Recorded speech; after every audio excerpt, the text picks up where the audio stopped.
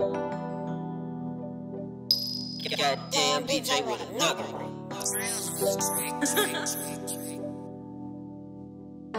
D major, baby.